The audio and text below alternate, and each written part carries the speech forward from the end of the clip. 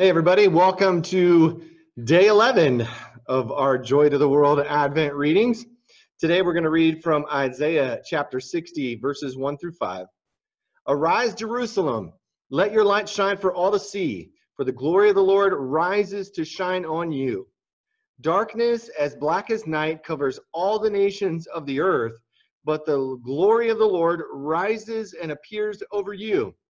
All nations will come to your light Mighty kings will come to see your radiance. Look and see, for everyone is coming home. Your sons are coming from distant lands. Your little daughters will be carried home. Your eyes will shine and your heart will thrill with joy, for merchants from around the world will come to you.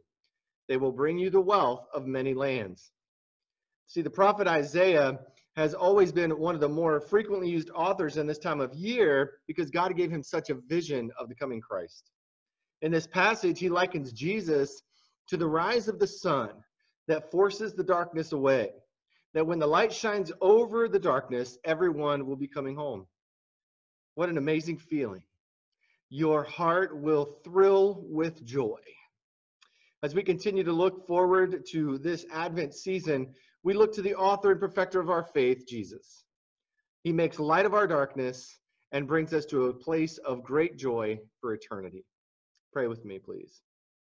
Loving God, you have blessed us beyond measure by sending your Son into the world that we might be saved. Allow us to see his light in our darkness. Allow his light to illuminate our hearts this season that we should thrill with joy. In Jesus' name, amen. See you tomorrow, everybody. Have a great day.